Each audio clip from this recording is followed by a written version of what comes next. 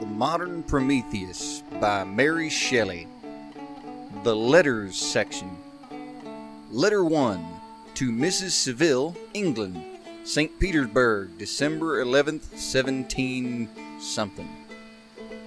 You will rejoice to hear that no disaster has accompanied the commencement of an enterprise which you have regarded with such evil forebodings. I arrived here yesterday, and my first task is to assure my dear sister of my welfare and increasing confidence in the success of my undertaking. I am already far north of London, and as I walk in the streets of Petersburg, I feel a cold northern breeze play upon my cheeks, which braces my nerves and fills me with delight. Do you understand this feeling? This breeze, which has traveled from the regions towards which I am advancing, gives me the foretaste of those icy climes. Inspirited by this wind of promise, my daydreams become more fervent and vivid. I try in vain to be persuaded that the pole is the seat of frost and desolation. It ever presents itself to my imagination as the region of beauty and delight. There, Margaret, the sun is forever visible, its broad disk just skirting the horizon and diffusing a perpetual splendor. Therefore, with your leave, my sister, I will put some trust in preceding navigators. There, snow and frost are banished, and sailing over a calm sea, we may be wafted to a land surpassing in wonders and in beauty every region hitherto discovered on the habitable globe. Its productions and features may be without example, as the phenomena of the heavenly bodies undoubtedly are in those undiscovered solitudes. What may not be expected in a country of eternal light? I may there discover the wondrous power which attracts the needle and may regulate a thousand celestial observations that require only this voyage to render their seeming eccentricities consistent forever. I shall satiate my ardent curiosity with the sight of a part of the world never before visited, and may tread a land never before imprinted by the foot of man.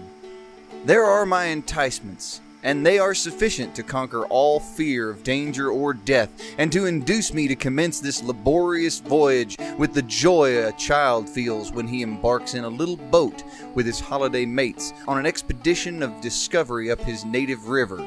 But supposing all these conjectures to be false, you cannot contest the inestimable benefit which I shall confer on all mankind to the last generation by discovering a passage near the pole to those countries to reach which at present so many months are requisite, or by ascertaining the secret of the magnet, which, if at all possible, can only be effected by an undertaking such as mine.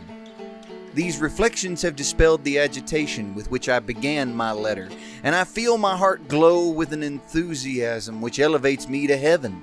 For nothing contributes so much to tranquilize the mind as a steady purpose, a point on which the soul may fix its intellectual eye. This expedition has been the favorite dream of my early years. I have read with ardor the accounts of the various voyages which have been made in the prospect of arriving at the North Pacific Ocean through the seas which surround the pole. You may remember that a history of all the voyages made for purposes of discovery composed the whole of our good Uncle Thomas's library. My education was neglected, yet I was passionately fond of reading. These volumes were my study day and night, and my familiarity with them increased that regret which I had felt as a child on learning that my father's dying injunction had forbidden my uncle to allow me to embark on a seafaring life. These visions faded when I perused for the first time those poets whose effusions entranced my soul and lifted it to heaven. I also became a poet, and for one year lived in a paradise of my own creation. I imagined that I might also obtain a niche in the temple where the names of Homer and Shakespeare are consecrated. You are well acquainted with my failure and how heavily I bore the disappointment. But just at that time, I inherited the fortune of my cousin, and my thoughts were turned into the channel of their earlier bent. Six years have passed since I resolved on my present undertaking. I can, even now, remember the hour from which I dedicated myself to this great enterprise. I commenced by inuring my body to hardship. I accompanied the whale fishers on several expeditions to the North Sea. I voluntarily endured cold, famine, thirst, and want of sleep. I often worked harder than the common sailors during the day and devoted my nights to the study of mathematics, the theory of medicine, and those branches of physical science from which a naval adventurer might derive the greatest practical advantage. Twice, I actually hired myself as an undermate in a Greenland whaler and acquitted myself to admiration. I must own I felt a little proud when my captain offered me the second dignity in the vessel and entreated me to remain with the greatest earnestness, so valuable did he consider my services. And now, dear Margaret, do I not deserve to accomplish some great purpose? My life might have been passed in ease and luxury, but I preferred glory to every enticement that wealth placed in my path. Oh, that some encouraging voice would answer in the affirmative. My courage and my resolution is firm, but my hopes fluctuate and my spirits are often depressed.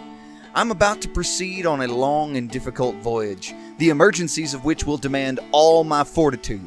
I am required not only to raise the spirits of others, but sometimes to sustain my own when theirs are failing. This is the most favorable period for traveling to Russia. Then fly quickly over the snow in their sledges. The motion is pleasant, and in my opinion, far more agreeable than that of the English stagecoach. The cold is not excessive if you're wrapped in furs, a dress which I have already adopted, for there's a great difference between walking the deck and remaining seated motionless for hours, when no exercise prevents the blood from actually freezing in your veins. I have no ambition to lose my life on the post road between St. Petersburg and Archangel. I shall depart for the latter town in a fortnight or three weeks, and my intention is to hire a ship there, which can easily be done by paying the insurance for the owner, and to engage as many sailors as I think necessary among those who are accustomed to the whale fishing. I do not intend to sail until the month of June. And when shall I return? Ah, dear sister, how can I answer this question? If I succeed, many, many months, perhaps years will pass before you and I may meet. If I fail, you will see me again soon or never. Farewell, my dear, excellent Margaret. Heaven shower down blessings on you and save me, that I may again and again testify my gratitude for all your love and kindness. Your affectionate brother, R. Walton. Letter 2 to Miss Seville, England, Archangel, 28th March, 17 something. How slowly the time passes here, encompassed as I am by frost and snow. Yet a second step is taken towards my enterprise. I have hired a vessel, and I am occupied in collecting my sailors. Those whom I have already engaged appear to be men on whom I can depend, and are certainly possessed of dauntless courage. But I have one want which I have never yet been able to satisfy, and the absence of the object of which I now feel as a most severe evil, I have no friend, Margaret. When I'm glowing with the enthusiasm of success, there will be none to participate in my joy. If I am assailed by disappointment, no one will endeavor to sustain me in dejection. I shall commit my thoughts to paper, it is true, but that's a poor medium for the communication of feeling. I desire the company of a man who could sympathize with me, whose eyes would reply to mine. You may deem me romantic, my dear sister, but I bitterly feel the want of a friend. I have no one near me, gentle yet courageous, possessed of a cultivated as well as a capacious mind, whose tastes are like my own to approve or amend my plans. How would such a friend repair the faults of your poor brother? I am too ardent in execution and too impatient of difficulties. But it is a still greater evil to me that I am self educated. For the first 14 years of my life, I ran wild on a common and read nothing but our Uncle Thomas's book and voyages. At that age, I became acquainted with the celebrated poets of our country, but it is only when I had ceased to be in my power to derive its most important benefits from such a conviction that I perceived the necessity of becoming acquainted with more languages than that of my native country. Now I am 28 and am in reality more illiterate than many schoolboys of 15. It is true that I have thought more and that my daydreams are more extended and magnificent, but they want, as the painters call it, keeping. And I greatly need a friend who would have sense enough not to despise me as romantic, and affection enough for me to endeavor to regulate my mind. Well, these are useless complaints. I shall certainly find no friend on the wide ocean, nor even here an Archangel among merchants and seamen. Yet some feelings, unallied to the dross of human nature, beat even in these rugged bosoms. My lieutenant, for instance, is a man of wonderful courage and enterprise. He is madly desirous of glory, or rather, the word my phrase more characteristically, of advancement in his profession. He's an Englishman, and in the midst of national and professional prejudices, unsoftened by cultivation, retains some of the noblest endowments of humanity. I first became acquainted with him on board a whale vessel. Finding that he was unemployed in this city, I easily engaged him to assist in my enterprise. The master is a person of excellent disposition and is remarkable in the ship for his gentleness and the mildness of his discipline. This circumstance, added to his well known integrity and dauntless courage, made me very desirous to engage him. A youth passed in solitude, my best years spent under your gentle and feminine fosterage, has so refined the groundwork of my character that I cannot overcome an intense distaste to the usual brutality exercised on board ship. I've never believed it to be necessary.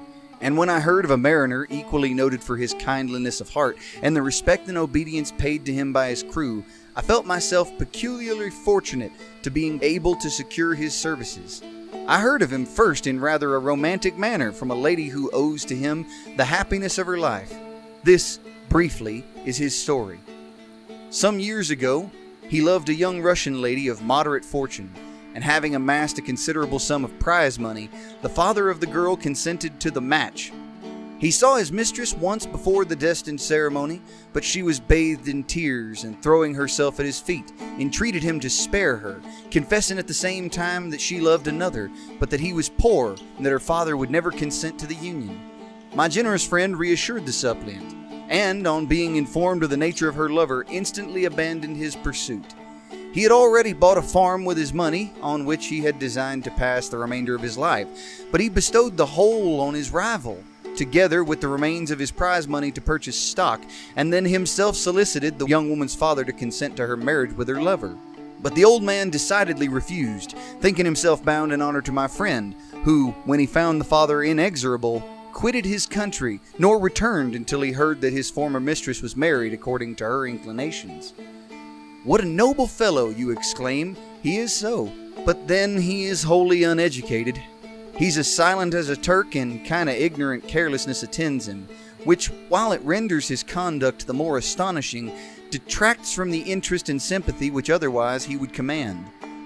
Yet do not suppose, because I complain a little, or because I can conceive a consolation for my toils, which I may never know, that I am wavering in my resolutions. Those are as fixed as fate, and my voyage is only now delayed until the weather shall permit my embarkation.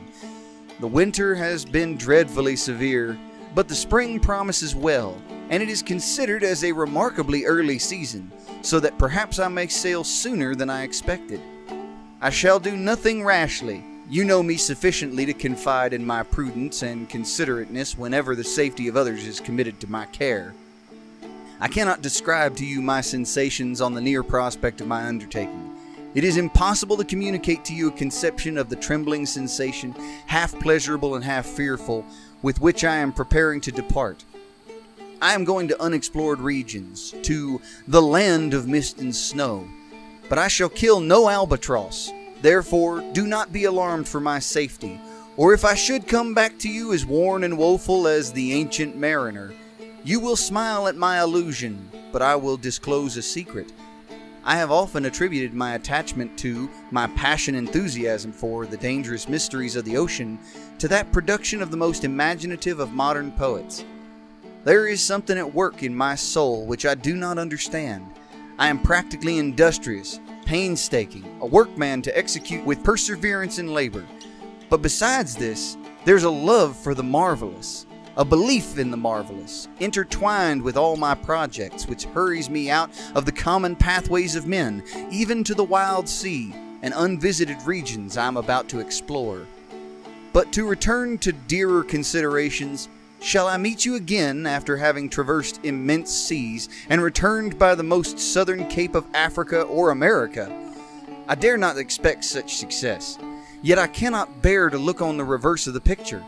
Continue for the present to write to me by every opportunity. I may receive your letters on some occasions when I need them most to support my spirits. I love you very tenderly. Remember me with affection should you never hear from me again. Your affectionate brother, Robert Walton. Letter 3 to Mrs. Seville, England, July 7th, 17 something. My dear sister, I write a few lines in haste to say that I am safe and well advanced on my voyage. This letter will reach England by a merchantman now on his homeward voyage from Archangel, more fortunate than I, who may not see my native land perhaps for many years. I am, however, in good spirits. My men are bold and apparently firm of purpose, nor do the floating sheets of ice that continually pass us, indicating the dangers of the region towards which we are advancing, appear to dismay them. We have already reached a very high latitude, but it is the height of summer, and although not so warm as in England, the southern gales which blow us speedily towards the shores, which I so ardently desire to attain, breathe a degree of renovating warmth which I had not expected. No incidents have hitherto befallen us that would make a figure in a letter. One or two stiff gales and a springing of a leak are accidents which experienced navigators scarcely remember to record, and I shall be well content if nothing worse happen to us during our voyage. Adieu, my dear Margaret. Be assured that for my own sake as well as yours, I will not rashly encounter danger. I will be cool, persevering, and prudent. But success shall crown my endeavors. Wherefore not? Thus far I have gone, tracing a secure way over the pathless seas, the very stars themselves being witness and testimonies of my triumph. Why not still proceed over the untamed yet obedient element? What can stop the determined heart and resolved will of man? My swelling heart involuntarily pours itself out thus. But I must finish. Heaven bless my beloved sister, R.W. Letter 4 to Mrs. Seville, England, August 5th, 17 something. So strange an accident has happened to us that I cannot forbear recording it although it is very probable that you will see me before these papers can come into your possession. Last Monday, July 31st, we were nearly surrounded by ice, which closed in on the ship on all sides, scarcely leaving her to the sea room in which she floated. Our situation was somewhat dangerous, especially as we were compassed round by a thick fog. We accordingly lay to, hoping that some change would take place in the atmosphere and weather. About two o'clock, the mist cleared away, and we beheld, stretched out in every direction, vast and irregular plains of ice, which seemed to have no end. Some of my comrades groaned, and my own mind began to grow watchful with anxious thoughts, when a strange sight suddenly attracted our attention and diverted our solicitude from our own situation. We perceived a low carriage fixed on a sledge and drawn by dogs pass on towards the north at a distance of half a mile a being which had the shape of a man, but apparently a gigantic stature, sat in the sledge and guided the dogs. We watched the rapid progress of the traveler with our telescopes until he was lost among the distant inequalities of the ice. This appearance excited our unqualified wonder. We were, as we believed, many hundred miles from any land, but this apparition seemed to denote that it was not, in reality, so distant as we had supposed. Shut in, however, by ice, it was impossible to follow his track, which we had observed with the greatest attention. About two hours after this occurrence, we heard the ground sea, and before night the ice broke and freed our ship. We, however, lay to until the morning, fearing to encounter in the dark those large, loose masses which float about after the breaking up of the ice. I profited of this time to rest for a few hours. In the morning, however, as soon as it was light, I went upon deck and found all the sailors busy on one side of the vessel, apparently talking to someone in the sea. It was, in fact, a sledge, like we had seen before, which had drifted towards us in the night on a large fragment of ice.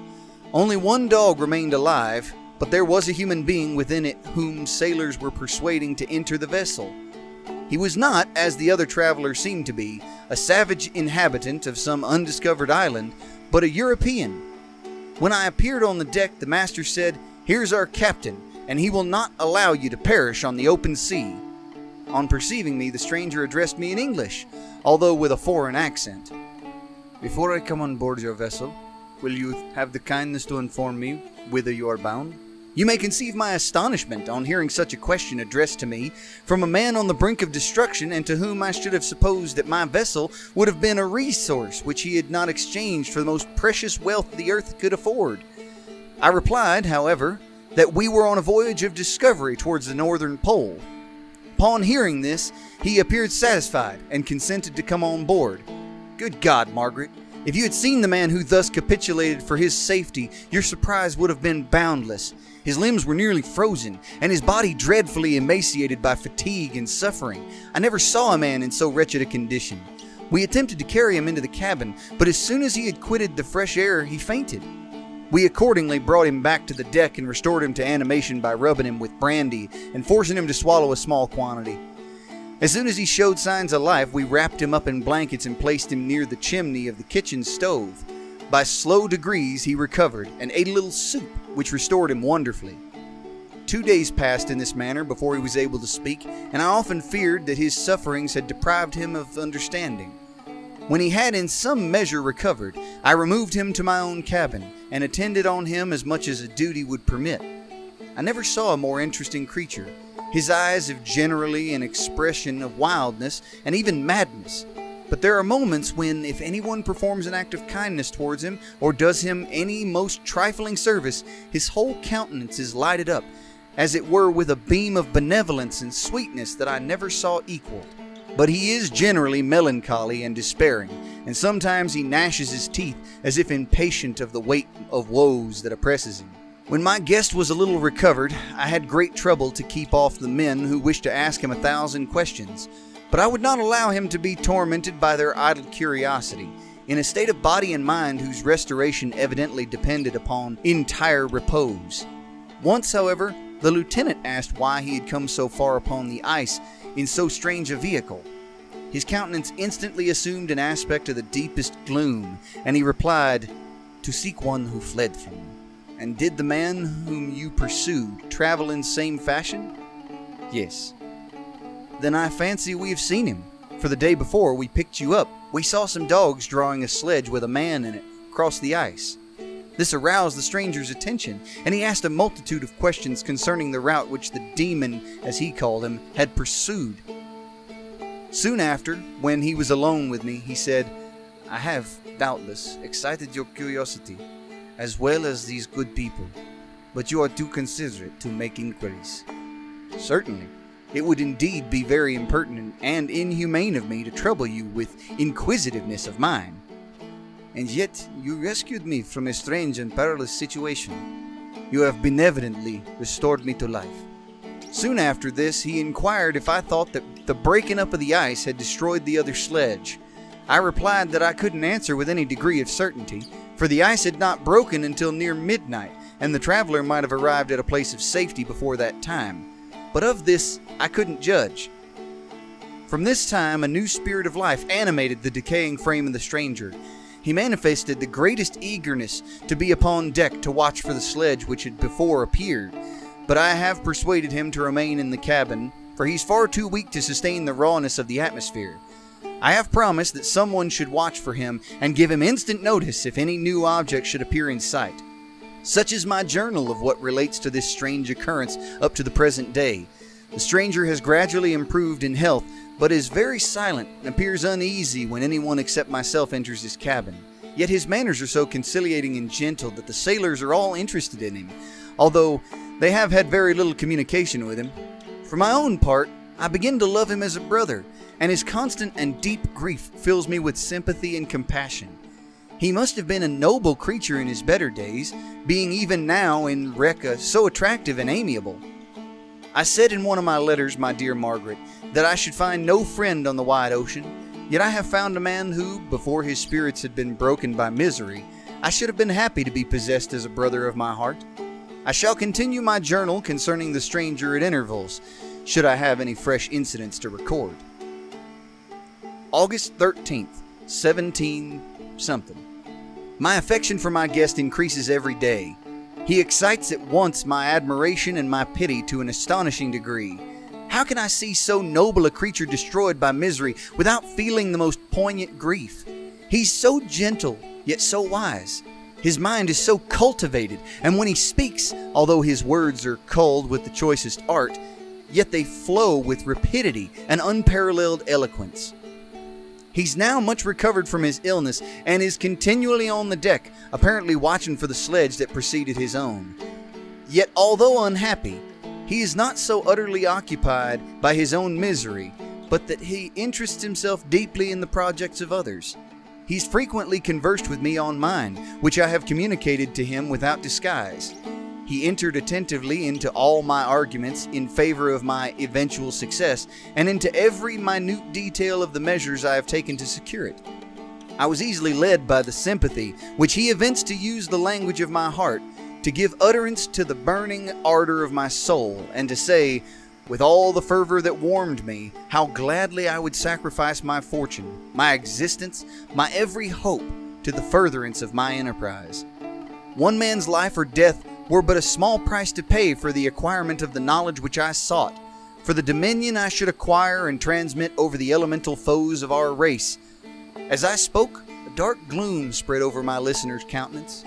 At first, I perceived that he tried to suppress his emotion. He placed his hands before his eyes, and my voice quivered and failed me as I beheld tears trickle fast from between his fingers. A groan burst from his heaving breast. I paused, at length he spoke in broken accents. Unhappy man, do you share my madness? Have you drunk also of the intoxicating draught? Hear me, let me reveal my tale, and you will dash the cup from your lips. Such words, you may imagine, strongly excited my curiosity, but the paroxysm of grief that had seized the stranger overcame his weakened powers, and many hours of repose and tranquil conversation were necessary to restore his composure. Having conquered the violence of his feelings, he appeared to despise himself for being the slave of passion, and quelling the dark tyranny of despair, he led me again to converse concerning myself personally.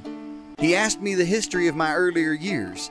The tale was quickly told, but it awakened various trains of reflection.